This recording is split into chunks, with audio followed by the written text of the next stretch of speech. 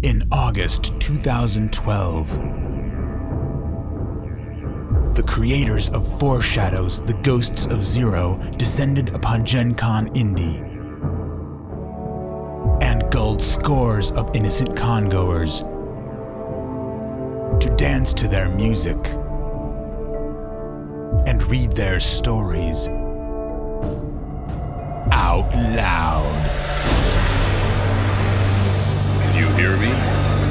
Nice and clear, right?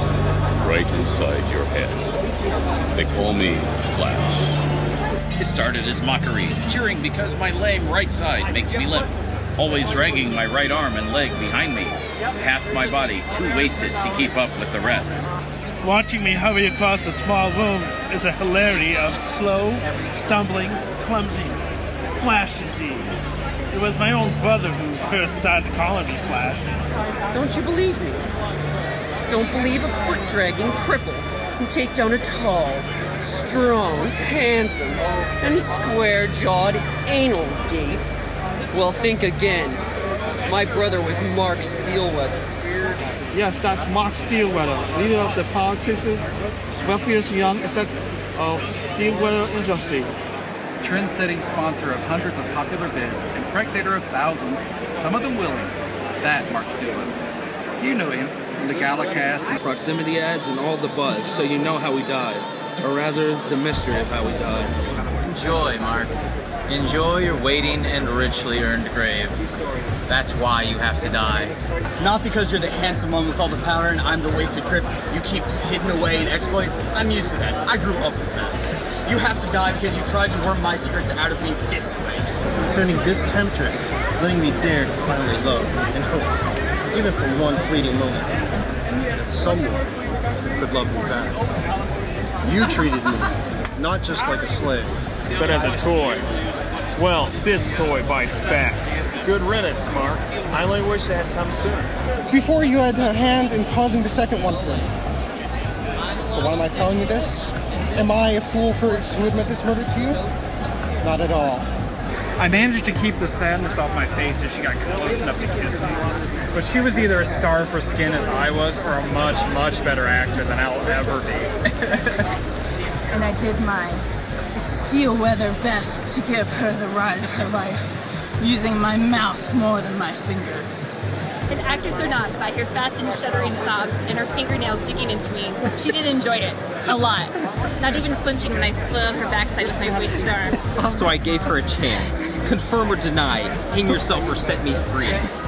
My nails were in her by then. I could stop in an instant if I had to, but I didn't want to. Once she learned my secret, she would have to die. Receiving telemetry, Your surface signal is strong. Lock is complete. All that you know, I know. Make sure you record copies for our files as well. I don't want Manila PD to be the only ones with a record. Are my thoughts clear, by the way? Of course, madam. And yes, I can hear you perfectly. Beginning legal transcription now. Uh, the stench is overpowering. Hold on. I need to decrease my sensory enhancers. You never smell the insides of a human body, consider yourself lucky. This isn't pleasant. Stepping into one isn't all that fun either. Focus. Thermal X imaging online. Numerous targets. This is mind-numbing. How can adults do these things to children? Temperature steady is 35 degrees Celsius. You want me to call you simulacrum? That doesn't exactly sound feminine. I am not feminine, nor am I masculine. I am an artificial intelligence. I inhabit a simul simulacrum. Nothing more, nothing less. I can't call you simulacrum. I cannot love you, Adam. I cannot be anything other than what I am. However, if you, however, if you wish to provide me with some type of feminization, perhaps we could reach an understanding. An understanding? Yes, you may call me Simulacra. Simulacra? Fine. Whatever, I think it sucks. You are human, Adam. I am Simulacra. I do not care what you think. When I first got my plugs and implants, they were state of the art. These days, though, they're more state of decay. Ever read about the 20th century? My grandfather always said computers were like cars. They were all built to become obsolete within a couple of years, so they'd either have to be constantly repaired or get replaced. It was all about getting the consumer to spend more money. Do I need to bring back the girl I asked, or just the artifact? We would prefer Gage said that you'd come back with both. Gave me the information I needed to make the payoff and the dub key to do it with. You don't want me to negotiate? I asked. The price has been agreed upon, he said. All you need to do is pay it and retrieve the merchandise. The creature lifted its head and watched the star a moment longer, soaking in the rays of ever-present ultraviolet before the solar shape melted completely from sight. The creature had come to think of it as the golden one because it, fa- it was fond of the star's earthy hue, a healthy sun but a damaged sunset, and the sunrise was much to say. The bullets hit before Marco even heard the guns that fired them. The first one slammed into the back of his shoulder as he ran. You get what you pay for. And corporate did not want a Frankenstein. He had a scruffy face and wore a dirty bathrobe. A cigarette dangled out of his mouth, and in one hand he held a mug filled with something hot. In the other, he had a surgical bone scalpel slick with blood. Dying shouldn't be this easy, he thought. He knew the medicines, the best this world could offer, were doing their job while coursing through his system as furiously as the mysterious pathogen itself. A gust of wind, too warm for November, rustled Frederick's coat and sent leaves swirling into the air. New York sky was still grim. He looked to the south where the scarcer trees revealed more of the cemetery landscape. Mausoleums and statues filled his view, some of them shattered, littering the ground like broken teeth. She was a respectable woman, as educated as her circumstances allowed. Now she was a thief. Her shirt and coat were spattered with blood, and it wasn't hers. She hurried across the bridge, looking back every few seconds. cracked piece of junk grav. It was hard to argue with, with John Farrell. I know The three of us had made it out fine, but we were now staring at our broken ride, black smoke trailing from the wreckage high into the gray Colorado sky. Streaks of oil covering portions of the craft and obscuring its name, Avenger 16. At least we made it this far, I suggested feebly. Ignoring my comment, the rule brushed dark hair away from his face. Can it be fixed? I hate the Ungers. Not the people. Got nothing against the people. Or at least most of them stuck down here. The place. I hate everything about it. It's all grime and shadows, the Ungers. The locks and the tubes are cracked and still made of concrete. Yeah, concrete. Even breathing's nasty, with the spillage leaking from above, and God knows what sort of old waste leaching up from below. And even if you can see past the tubes crossing overhead, you can never see the sky. Just the glass facades of the ivory stretching up higher. People here could never hope to imagine.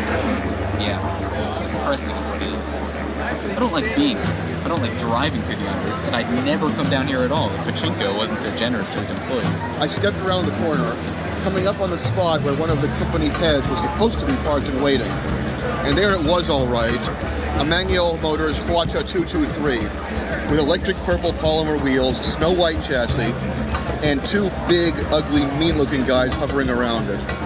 One of them was standing lookout, the other prying at the bike's wheel locks with a beat-up crowbar. A flying insect, capable of going anywhere, defying gravity with a pair of dusty wings. And what does it do with this power? It picks the brightest thing it can find and dives into it. It can't resist the lure of the fl- flames, even though that beauty will surely leave it a charred corpse. The final piece of the staff of Ur Arkala hung in the center of the chamber, its pale glow, the only source of illumination the great gave. Spiders watched from the walls, their eyes gleaming. There was no bridge, and seemingly no bottom to the cavern, just a tapestry of thick webs. Patel hesitated at the edge. Brave as he was, even he was uncertain about trusting his life to so fragile a friend. The molten blood of the Mordark steamed as it flowed over the flagstones. The paladin leapt over the foul corpse and knelt by the chest it was guarding. The lock was a curious puzzle. Three interlocking dials marked with golden hieroglyphs. Patel began twisting the wheels, searching for the magic combination. Ever see the mask of the Red Death? That's what the Geist is like. Some sort of specter of humanity's sins come to punish us all, bit by bit, grid by grid. eating away at our science. Yeah, sure it is. It's the ghost of Christmas future with a weapons upgrade. So like. Perimeter's clear, so now what? Now what? Have an opinion? Gav thought irritably. An idea? A course of action? Something? Anything? Oh, the vids are way off. And the Geist is real. It's just not what you think it is. A demon? Are you kidding me? It's just a sin. What animal moves like that? His mind was back in the present, in his hotel room, alone in the dark, but his adrenaline was surging, his mind racing. It was time to begin again. He jumped up, hit the lights, and started to think as he rummaged through his things. He needed to arm up. Then he paused, looking at the V-stick clutched in his white-knuckled fist. Was this just an illusion? The first step of renewed pirate dependency? Gav was going to stop it, as he intended. Two years ago, he stalemated the monster in Germany, but where the damn thing was right now, Gav had no idea. And he didn't much care. He was through playing cat and mouse game. He'd proved to himself that that he could track it, as no one else could. Ask any room full of people about the Geist, and you will get an array of answers. So, what does the Geist do? This is one thing everyone generally agrees on. For those who believe it actually exists, it swoops down on buildings or machines and sucks them dry, killing the power and slagging local systems. Sure, there are geist hunters out there, just like there's some conspiracy theories and sci-fi wackos. But even those who aren't nut jobs are usually ineffective. It's a part-time hobby for them at least. Men det forstod det gamle nordiske sprog perfekt. Alene imod de 3237 andre sprog, der var i det gamle WorldNet. Af disse forstod den kun 2072. Z's downstairs, positioned on the second floor, well armed, awaiting my orders. She can hit the ground running from six meters. And now, it's showtime. I Used to get on my case about not finishing what I started, so I want to tell you what I've been up to all this time. I guess we should start with some background, right? Context is king. First, I'm relaying this log through Z, my first sim, and it's the first time I'm using Holomancer, the latest trend in logging. A man's spirit must be carefully guarded. It's ridiculous, I said, to the holovid image that appeared at the si- my side. Seconds later, I had my answer. The scene expanded suddenly, the light of the false dawn eclipsing my green sphere. I could see the venue where the conversation would play out. All around me were cherry blossom trees, their petals falling, brushing against my skin. In the distance, Mount Fuji sprawled in all its glory, rising into a midnight blue sky. The stench of rotting flesh was intense. It would have been unbearable to most humans, but for the creature, the odor simply carried information. It was a complex aroma. A wide variety of organic compounds were breaking down, the decaying matter outgassing. The creature was perched atop a small hill of corpses, wings spread, taking it all in, studying the putrid air. Less than a hundred meters away, five living men were approaching, slowly and quietly, heavily armed. Their fallen comrade had surprised the creature 32 minutes earlier. Susie stood unmoving for the first 72 minutes once she'd taken position.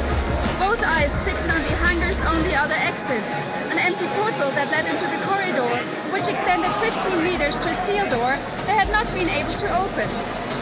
Gav had assumed that this was the back door, but Susie thought it the opposite. This was the primary entrance, and the cemetery crypt assessed the lab, lab's postern. It didn't matter. The aperture was an unknown, and she had agreed this would be their opponent's most likely place of entry. Its head turned towards the sky, searching. Its mind reached through the Credo satellite and commanded 29,235 kilometers overhead, conferring with its army of WorldNet digital agents. A human in its position would be angry. A human in its condition would also be dead. It was already aware of 37 bullet wounds spread across its wings and body. More would likely be discovered with further investigation. Ask me again in a day or two. I'm only thinking of you, darling. Susie knew what funds Gav had and what funds he didn't. Three days with all ten would drain his account to zero, no question. Mine is a part of Cornelian Crimson. Murder on a holy day. Chikaro opened his eyes. Felt a sharp ache in his back, as though he'd stepped off the curb awkwardly. That was impossible. There were no curbs. They stood at a crossroads of muddy tracks. Gone were the university and the streets of Mansour, which had been his home for 21 years. Scattered around him were crude homes of brick and clay. No, not crude, just not modern. Johnny Masters had a disease. He thought he was a wolf. 500 years ago, right-thinking people would have called him a werewolf and killed him. 100 years ago, psychiatrists would have diagnosed him, diagnosed him with lycanthropy, and tried to convince him he was, in fact, a man. But in this day and age, a man can make himself into a wolf if he has the money and the address of the right sort of black market surgeon. To date, Johnny had undergone 43 separate surgeries, ranging from the purely cosmetic to the highly invasive. His leg bones had been broken and lengthened to approximate the shape of a wolf's limbs. Artificial hair follicles had been implanted over his entire body to give him a coat of gray fur. Olfactory implants had been installed to heighten his sense of smell. These procedures, along with dozens of others, hadn't exactly turned him into the wolf that he saw in his mind's eye, but they went a long way toward making him happy. Jaeger turned away from the body lying on the floor. Frustrated with the fatigue weighing on his limbs and the labored beating of his heart, inconvenient symptoms of retreating youth, finally had to admit that the assignments were, wearing him down. That, of course, posed certain practical concerns. In his business, you work too far past your prime, and the next dead body may be your own. Implants and body mods may tack on an additional decade or two of usefulness, but he had no desire to become some kind of mechanized horror. No, he would only accept a few more jobs. After that, a cushy retirement. He glanced back at the latest deposit into his retirement account. Derek Jones was the son of the famous Dr. Colton Jones, principal developer of Dome Technology. Jaeger remembered Derek from several Hollywood galacasts, a reckless playboy surrounded by beautiful women, genuine and simulacra, his handsome face mugging for the camera as he basked in the fame of his father's successes. Headlines surfaced.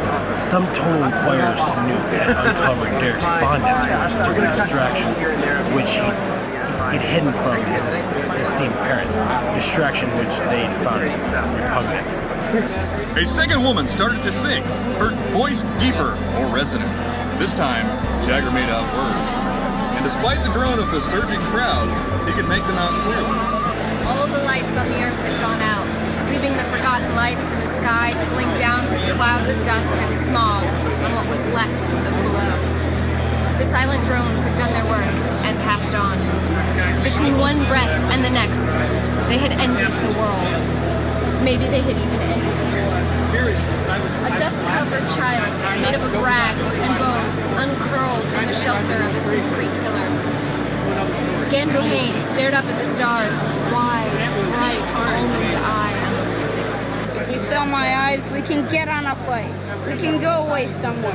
We aren't selling your eyes. Without Manet's eyes, they couldn't see the heat signatures of people approaching their base and lock it down. Without Manet's eyes, they couldn't find metal underground. Mayamoto Nuragami rattled down the steep incline of Seneca Street, the wheels of her roller skates flashing sparks off the rough pavement as she flew across the curb and twisted with a bounce onto Fifth Avenue. Mia's green tip ponytail fluttered like a pennant behind her, a flag of defiance flapping at anyone who might slow her down as she spun through the streets of Seattle. I am now all the destroying army Earth needs.